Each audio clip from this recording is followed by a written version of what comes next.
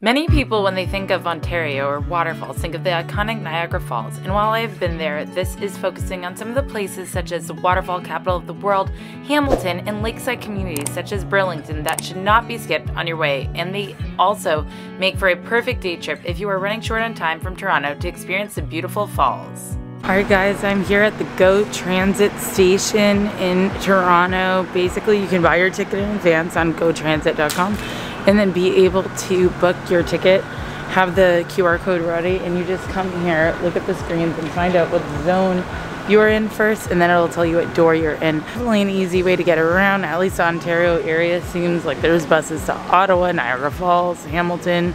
So excited and ready to go and get to Hamilton. Okay, so we're on the bus now to Hamilton. It's about an hour and 15 minutes, but it looks like we have some traffic and some bad weather. But I'm really excited to get there and check into our hotel. This was super convenient and dropped us close to our hotel. Welcome to the Homewood Suites in Hamilton. We just arrived, checked in, and we were greeted with snow. But first, I want to show you the room before we go out and explore Hamilton. Come inside. You can see it's called Homewood Suites for a reason. We have a big suite here. We have a area you can come hang out and watch TV, especially if it's a snowy day and you want to stay inside to stay warm. Also, there's a kitchen here.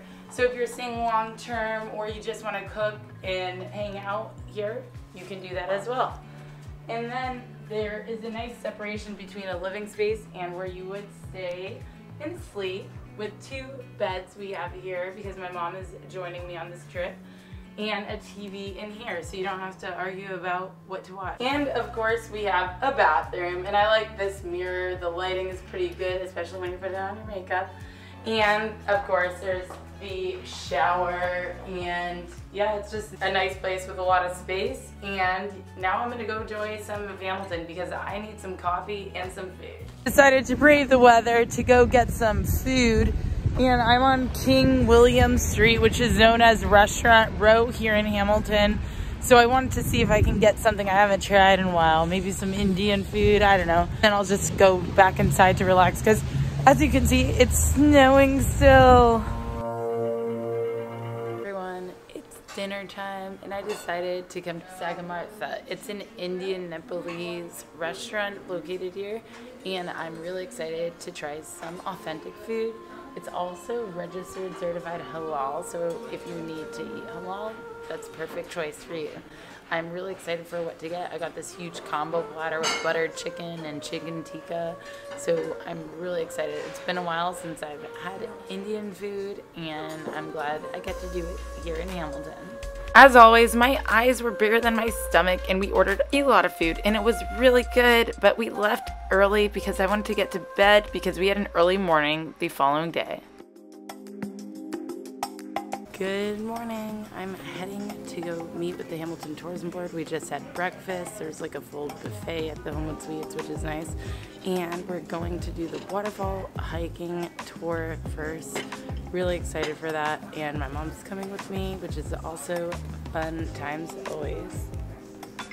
But, oh, I think the tourism board people are here. Bev from the tourism board greeted us and brought me a goodie bag, so I put it back to the room before we headed out to the falls. Good morning. I just was picked up by Bev from the Hamilton Tourism Bureau and we're here at Sherman Falls soon to run into Jamie who's going to take us on one of his waterfall tours. But for now we're at Sherman Falls and while we're waiting I'm gonna go check this out because I can already see it from the road. This is so beautiful.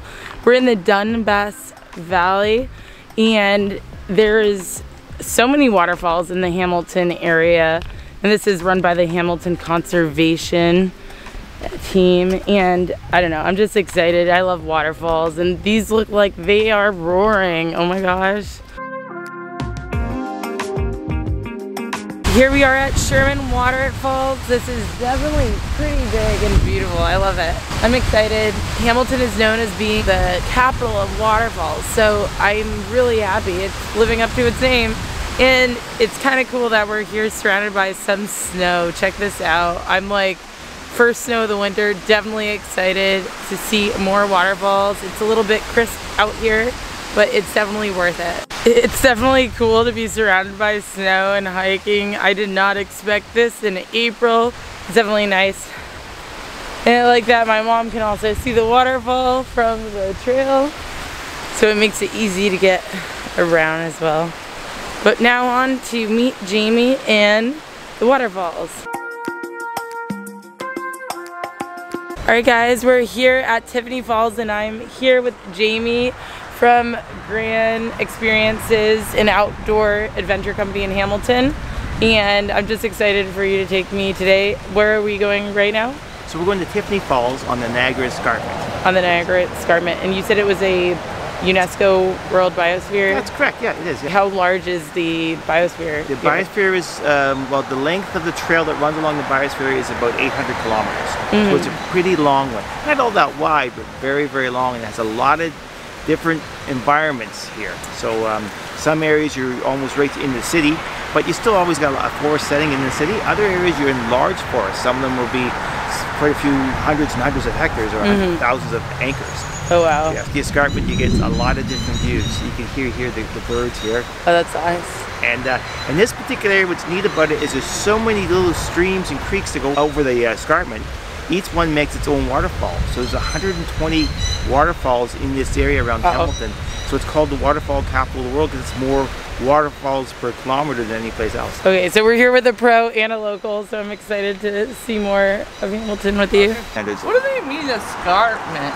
Escarpment is basically when there's a really sheer drop off. Oh, okay. It's like a big cliff that goes on for miles and miles and oh, miles. Right. And the Niagara Escarpment is one of the biggest ones, and it goes from, say, Niagara Falls, yeah. and it goes all the way up to Tobermory, which is on Georgian Bay, Lake Lake Huron. Oh, it's okay. about 800 kilometers. Oh wow! Right. So it's a really long, long escarpment. Oh, okay. And it's a feature of actually from about 450 million years ago. There used to be an inland ocean or sea here, yeah. and that was kind of left over from it. This was like a, like a drop off. Yeah. Going along, and then you would, and then it would be a huge difference. And there's uh, a lot of things have happened since then, but it, yeah. that's the main focus of it was about 450 million years ago. That's where it was formed. Oh, okay. Well, there are some challenging trails, there are also many waterfalls that you can visit that are not so far from the road and an easy hike.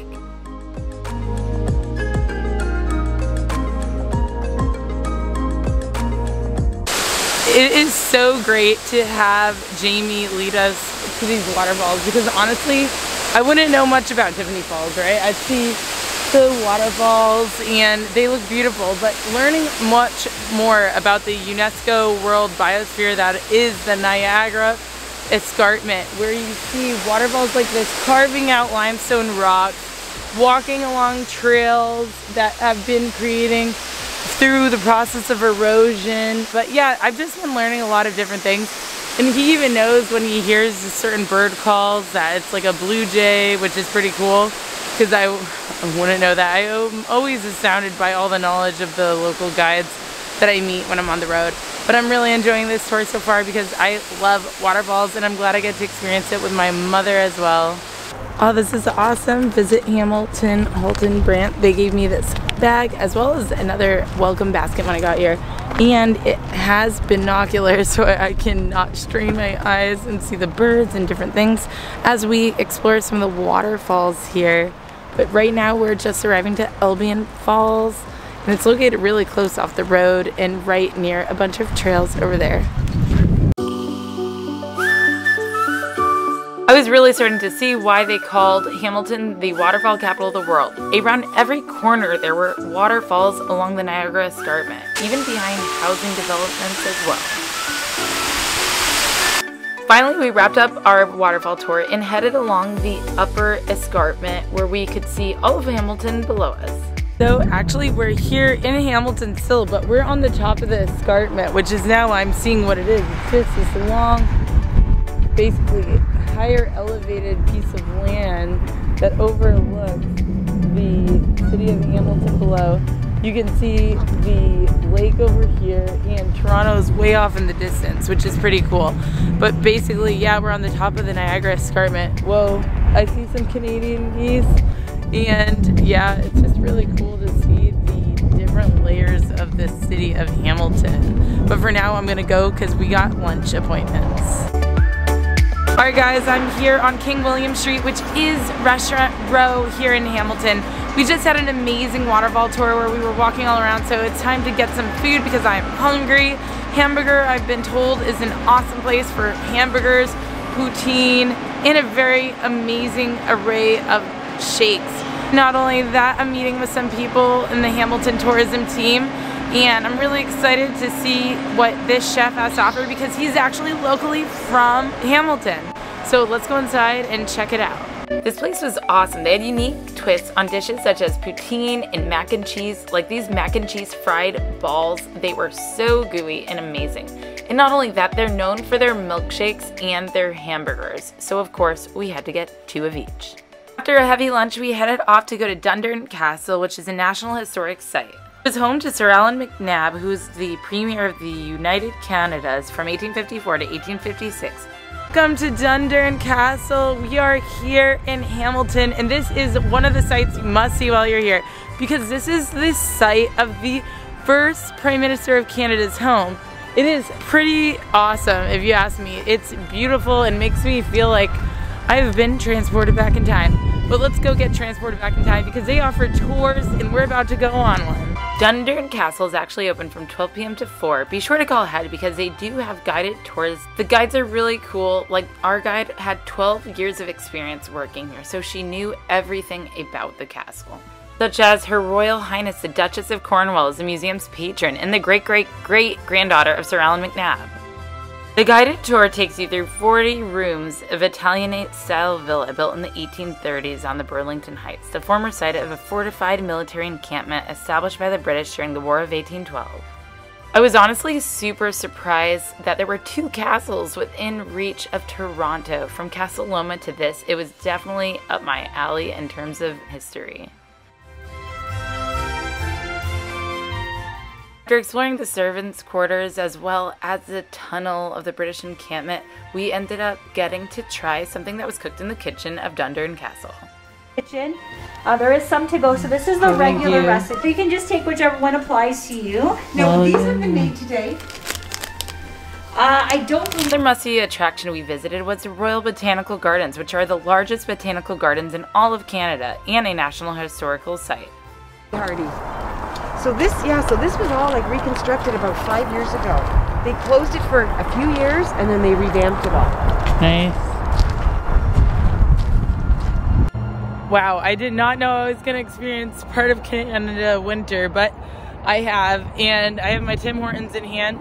I came to the Royal Botanical Gardens, which are located in Hamilton, and it's really pretty. Usually flowers are blooming, weddings and events are happening. It's the perfect place to come if you want to relax, enjoy a cup of coffee and a stroll. There's also a bistro here as well. While I'm here at a cooler time, I know that this place looks beautiful and I'll like show you some photos of it and do an overlay so you can see what this beautiful place looks like in the spring and in the summer. I bet this place is a beaut.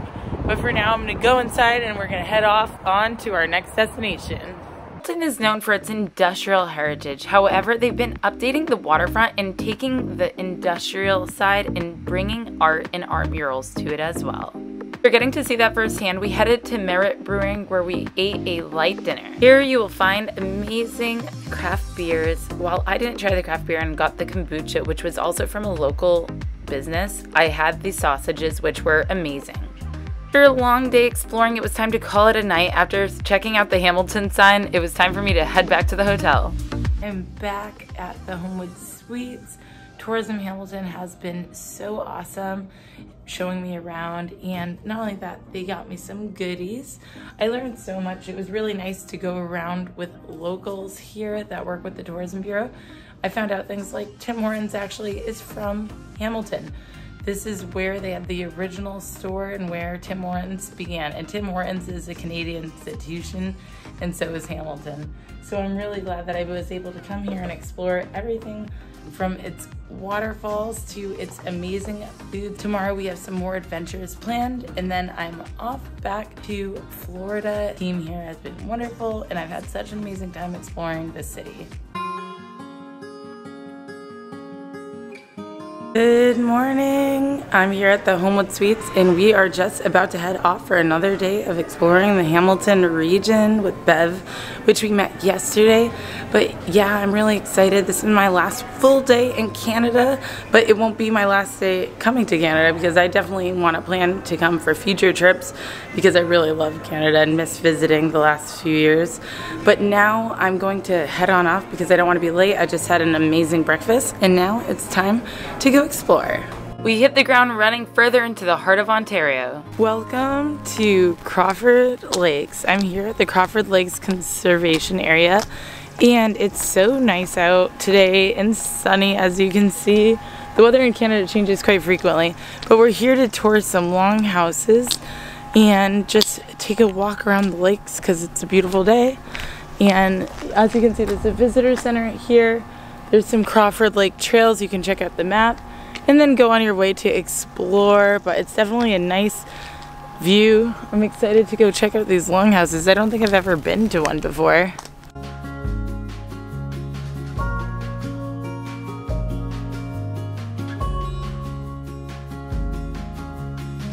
So we're here in an actual longhouse in Crawford Lakes and this is definitely interesting. It's cold but you can see they would be able to have three fires here and it looks like they'd dry out these skins. Yeah, the pelts. The pelts, okay. It was cool to see the historic snowshoes as well as learn that lacrosse was actually started by the First Nation people. Okay, so we just toured the first longhouse, and inside you can see everything from the skins of the different animals that they use, as well as how tall and massive these structures are.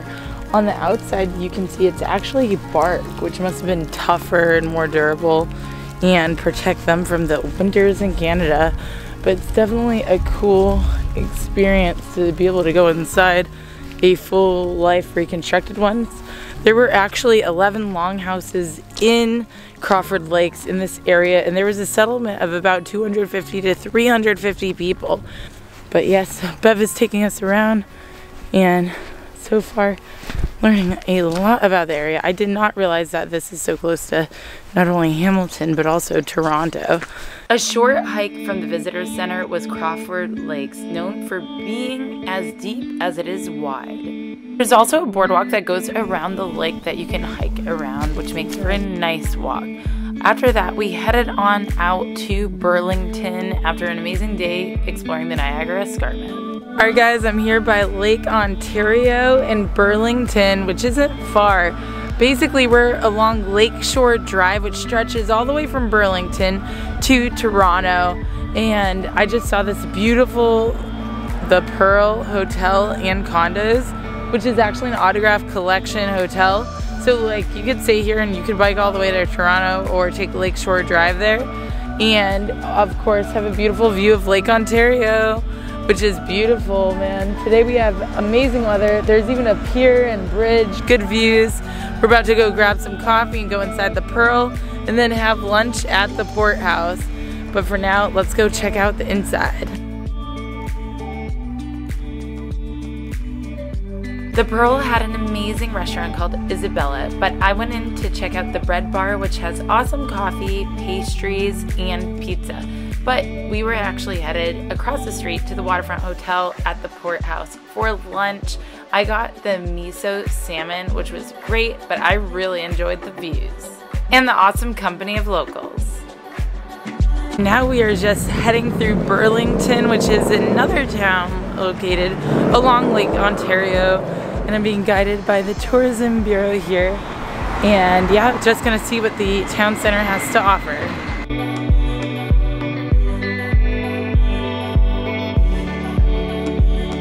Alright everybody, I'm here in Village Square in Burlington. Here you'll find many restaurants, eateries, places for brunch, as well as shops. It's located right by the waterfront in Lake Ontario. And Burlington is just definitely an upscale area where you can come and find some beautiful spots from the Pearl to the Port House where we just had an amazing lunch. Definitely an area to come check out. I really enjoyed my salmon with this miso sauce, which was amazing. But for now, we're gonna continue to explore with the tourism board here, and I'm really excited. Check this out. We have an old looking like, looks like a slice of Europe here.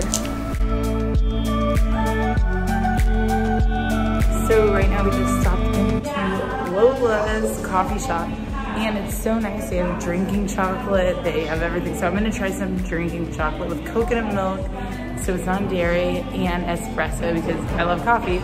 But the Village Square is so nice as you can see. Check this out. But yeah, the owner here is really nice. She's a woman-owned business, local, and I really love it so far. It's so cute in here. Check this out. After the best drinking chocolate ever, we headed to the Brant Street Pier, which is iconic to Burlington, right on Lake Ontario. You have some of the best views, and we had some of the best weather of my trip so far. Just about finished visiting Burlington, but it's so beautiful. We're here out on the pier on a sunny day. You can see the new, the Pearl Hotel, the waterfront hotel where we ate, as well as the port house. And yeah, it's just a good place to come. You can literally ride your bike all the way from here to Toronto as well. And we're only about 20 minute drive from Hamilton.